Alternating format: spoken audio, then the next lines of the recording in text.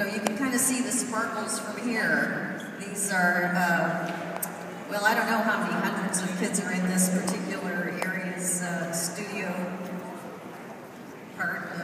But anyway, they have several studios around where they teach uh, kids, and they have um, just gotten back from the uh, regional championships in Phoenix, and they did really well.